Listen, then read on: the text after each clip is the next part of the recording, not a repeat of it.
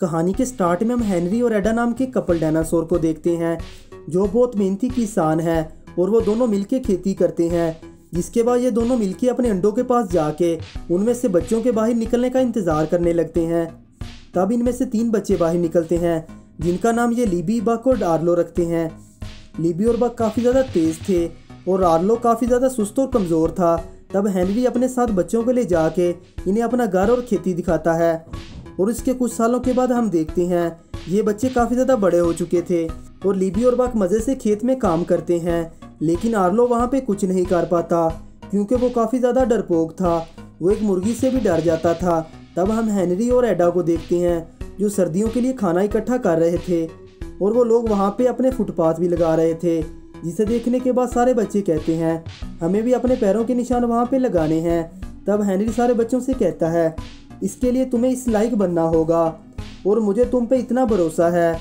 एक दिन ये चीज़ तुम ज़रूर करोगे, जिसके बाद बक वहाँ पे जल्दी से अपना काम करने लगता है। और जिसके बाद इसको फुटपाथ लगाने का मौका मिलता है।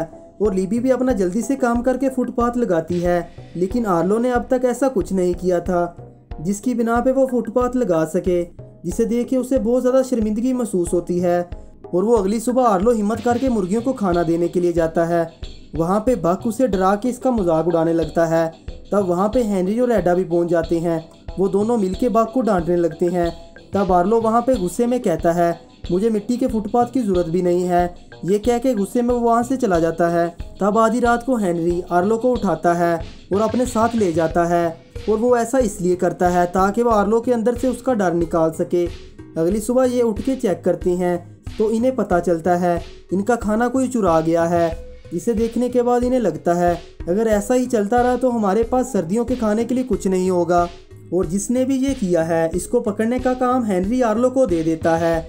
जिसे सुनने के बाद आर्लो काफ़ी ज़्यादा खुश हो जाता है, और वो दोनों मिलके इसको पकड़ने के लिए वहाँ पे ट्रैप बनाते हैं।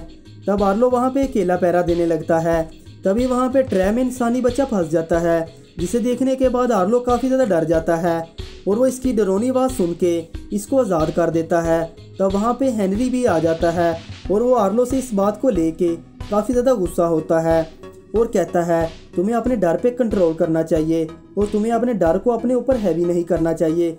जिसके बाद हेनरी आर्लो को जंगल में ले जाके बच्चे को पकड़ने के लिए जाता है, लेकिन मौसम ख़राब देख के आर्लो अपने बाबा को इस चीज़ के लिए मना करता है।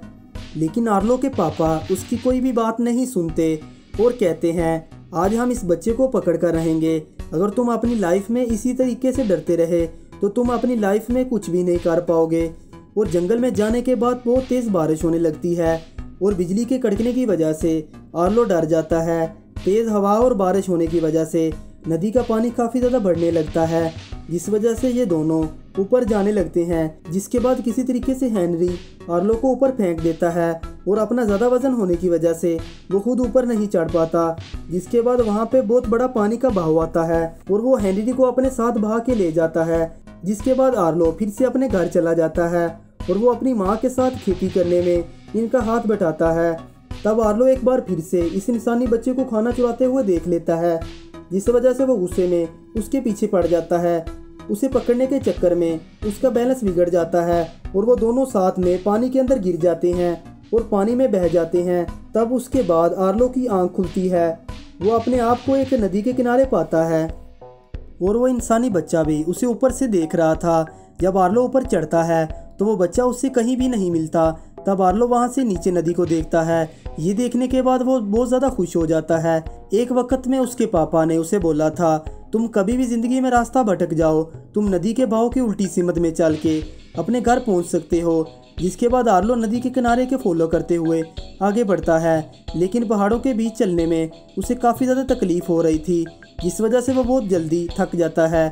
इसे काफ़ी ज़्यादा भूख भी लगी हुई थी और सामने दरख्त पे उसे फल भी नज़र आते हैं। तब आर्लो किसी तरीके से इस, इसे खाने की कोशिश करता है, लेकिन इसी कोशिश में वो नीचे गिर के पत्थर के बीच में फंस जाता है। और काफ़ी कोशिश करने के बाद भी वो निकल नहीं पाता और उसे इस हालत में ही रात गुजारनी पड़ती है।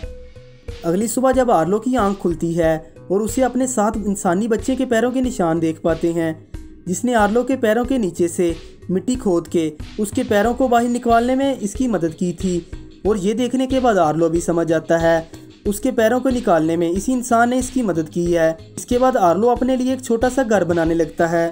आर्लो को काफ़ी ज़्यादा भूख लगी थी, जिस वजह से इंसानी बच्चा इसके पास एक लीजर को लेके आता है, और आर्लो इसे लीजर को भी देख के काफ़ी ज़्यादा डर जाता है, जिसके बाद इंसानी बच्चा उसके पास एक केकड़ा लेके आता है, और वो उसे खाने के लिए इशारा करता है, और आर्लो इस केकड़े को भी नहीं खाता, क्योंकि वो एक सब्ज़ी खोर था, जिसके बाद वो इंसानी बच्चा उसे वही फल ला के देता है, जिसे खाने के चक्कर में आर्लो नीचे पत्थर में दब गया था, जिसे आर्लो बड़े मज़े से खाता है, लेकिन थोड़े से खाने से उसका पेट नहीं भरने वाला था, जिस वजह से आर्लो उसे और भी चीज़ें लाने के लिए बोलता है।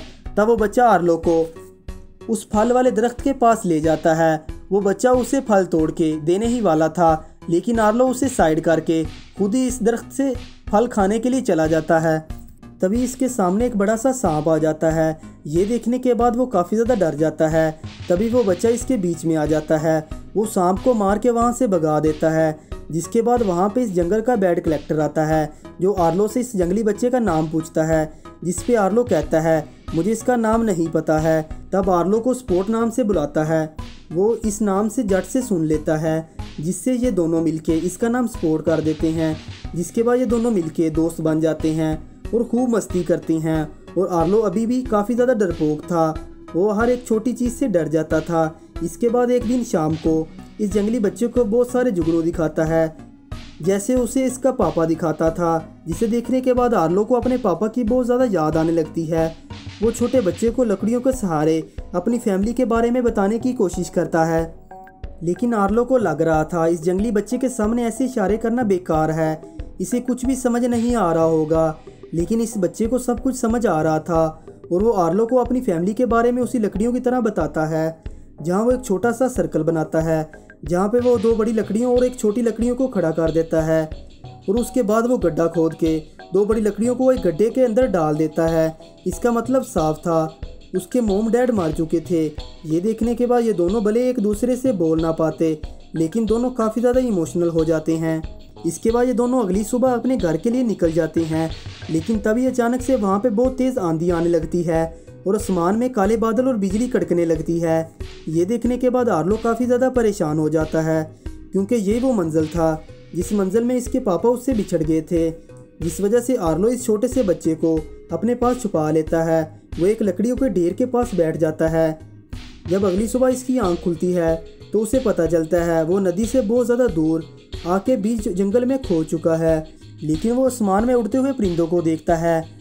और उनसे अपने घर का पता पूछता है। इस परिंदे का नाम थंडर क्लैब था और उसे देख के स्पोर्ट दरख्त के नीचे छुप जाता है, क्योंकि वो गोश्तखोर परिंदा था। और वो परिंदा इससे कहता है, हम पहले ही बहुत ज़्यादा भूखे हैं और हम पहले अपना पेट पूजा करेंगे। उसके बाद हम तुम्हारा कोई काम करेंगे। जिसपे वो आर्लो से स्पोर्ट के बारे में पूछता है और वो आर्लो भी स्पोर्ट के बारे में बता देता है, जिस वजह से ये परिंदे इनकी मुसीबत बन के इनके पीछे पड़ जाते हैं। लेकिन भागते हुए आर्लो के सामने दो बड़े डायनासोर नज़र आते हैं, जिसे देखने के बाद वो अपने कदम पीछे मोड़ लेता है। तभी आर्लो को एक बहुत बड़ा डायनासोर मिलता है, जो छोटे डायनासोर का बाप था।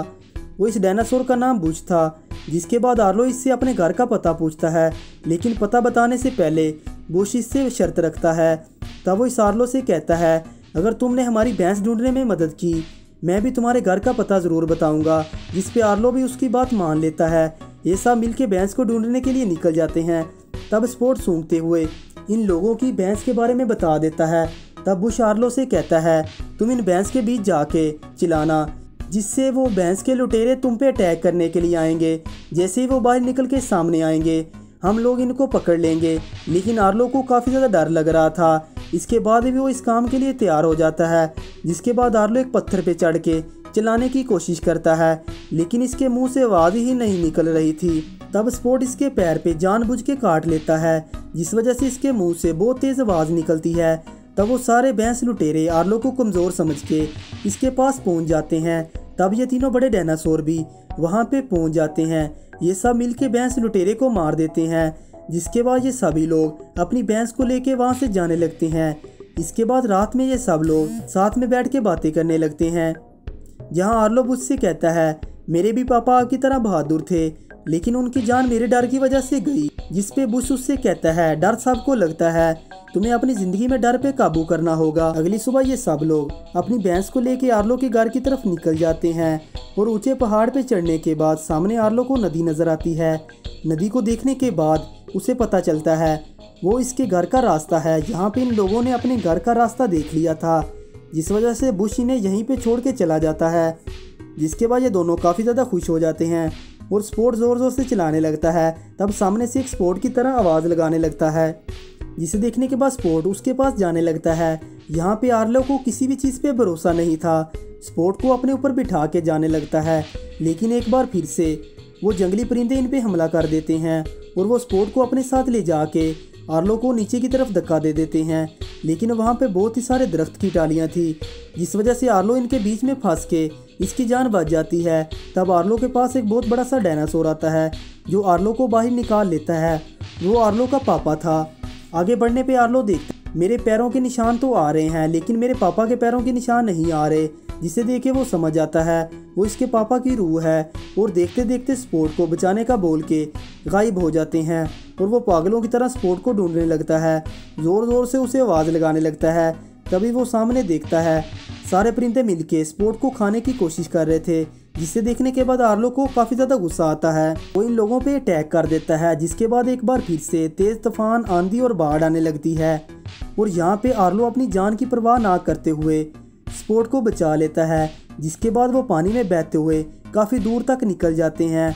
और किसी तरीके से ये दोनों किनारे पे आ जाते हैं, जिसके बाद ये दोनों आराम आराम से अपनी मंजिल की तरफ़ बढ़ने लगते हैं। तभी रास्ते में इन्हें वहीं जंगली आदमी दिखाई देते हैं, जिसके बाद वो जंगली आदमी भी आगे बढ़ते हैं। स्पोर्ट भी इनके पास चला जाता है। जहाँ जाने के बाद स्पोर्ट को भी पता चलता है, वो लोग इसकी फैमिली हैं। ये देखने के बाद स्पोर्ट को काफ़ी ज़्यादा खुशी होती है, और फैमिली की खुशी आर्लो को भी महसूस हो रही थी। लेकिन स्पोर्ट आर्लो को अकेला नहीं छोड़ना चाहता था। इसलिए वो फिर से आर्लो के पास आ जाता है। लेकिन फैमिली से बिछड़ने का दुख क्या होता है? इसलिए आर्लो स्पोर्ट को नीचे उतार देता है, जिसके बाद आर्लो स्पोर्ट को वहाँ पे छोड़ के अकेला ही आगे निकल जाता है और तीन दिन एक ही लोकेशन पे चलते चलते फैमिली अपने घर तक पहुँच जाता है, जिसके बाद आर्लो अपनी पूरी फैमिली के साथ मिलके बहुत ज़्यादा खुश हो जाता है। अब उसे भी अपनी ज़िंदगी की मुश्किलों से लड़ना आ गया था, इसलिए वो अपने पैरों के निशान अपने पापा के पैरों के निशानों के साथ लगाता है।